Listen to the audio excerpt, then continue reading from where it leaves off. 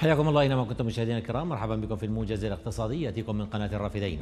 قالت شركة توزيع المشتقات النفطيه الحكومية إنها تستورد سنويا كميات كبيرة من النفط الأبيض وتتكبد خسائر ب 375 مليار دينار سنويا. وتستورد الوزارة شحنات لسد العجز الحاصل في إنتاج المصافي المحلية من النفط الأبيض لتلبية احتياجات السوق المحلي. فيما تؤكد مصادر متعددة تقصد تعطيل المصافي في العراق لاستيراد النفط الأبيض من الخارج.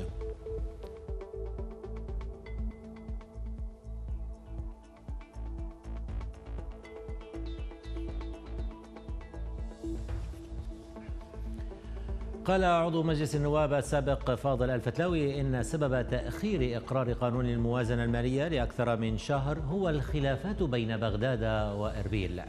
وأضاف الفتلاوي أن قانون الموازنة كان من المفترض أن يتم إرساله إلى البرلمان وإقراره قبل العطلة التشريعية أو انتهاء السنة الحالية إلا أن الخلافات بين الأحزاب الحاكمة في كردستان العراق والحكومة في بغداد حول حصة كردستان العراق في الموازنة حالت دون ذلك. حذر عضو برلمان كردستان العراق كاوا عبد القادر من تداعيات ارتفاع أسعار المواد الغذائية في كردستان العراق بالتزامن مع قرب حلول العام الجديد. وقال عبد القادر إن انخفاض سعر الدينار وتأخر صرف رواتب الموظفين فضلا عن ارتفاع أسعار الوقود. جميعها أسباب جعلت الأسعار ترتفع بشكل كبير في كردستان العراق.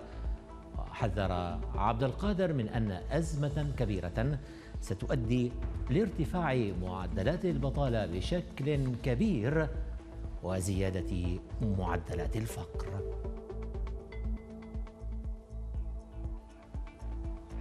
أكدت اللجنة الإعلامية لخليج 25 واتحاد الكرة العراقي أنه لا يمكن السيطرة على السوق السوداء فيما يخص مبيعات تذاكر كأس الخليج خليج 25 وقال رئيس اللجنة الإعلامية لخليج 25 وعضو اتحاد الكرة أحمد الموسوي إن تذاكر خليج 25 نفذت بشكل كامل.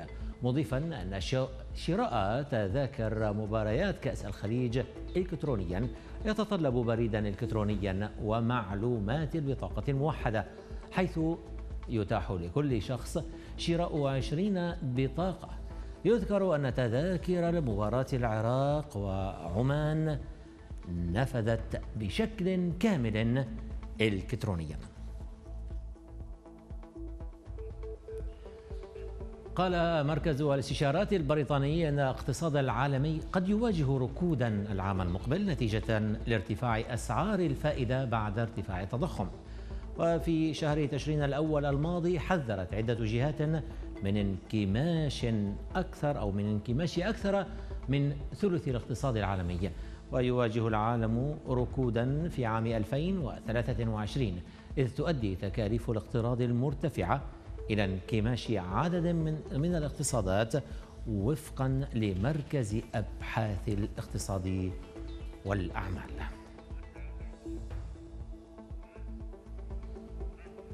والآن هذه انتقالة سريعة مشاهدينا الكرام لأسعار صرف العملات الأجنبية وأسعار المعادن.